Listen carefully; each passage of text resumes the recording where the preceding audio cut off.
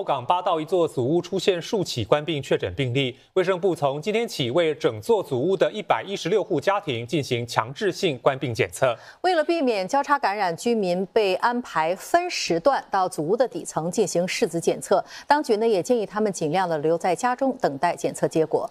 来看记者陈玉儿的报道。下午一点，后港八道第五百零六座祖屋的居民，根据当局传送的简讯中所列明的时段，依序到祖屋楼下的临时检测站进行聚合酶链反应检测。为避免交叉感染，住在一到六楼的居民会率先在今天进行检测。一些居民今早才接获通知，感到震惊和担心。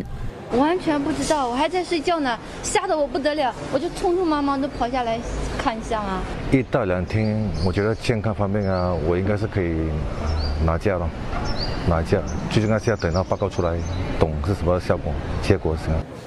据观察，居民有秩序的进入检测区，不少人也带着小孩前来检测。大概十分钟吧，就很快啊。他们是说那边的人重。那边我们是住这边，所以我们不担心哦。只是说，我是不是现在检测完了，我想要出去买东西，我不懂可以不可以去买东西。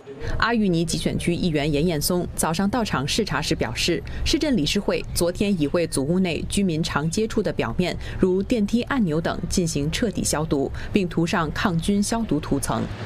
今早检测开始前，也进行了第二次消毒。There are concerns that um, that uh, because they don't know how many uh, cases there are over here, so they're, they're worried about uh, their own health. Uh, but I've assured them that the number of cases is small, and they just need to comply with the instructions given by the, the officers over here and by uh, by Ministry of Health. 检测站开放到晚上八点，明天则是从早上九点开放到下午四点，检测结果将在一到两天内出炉。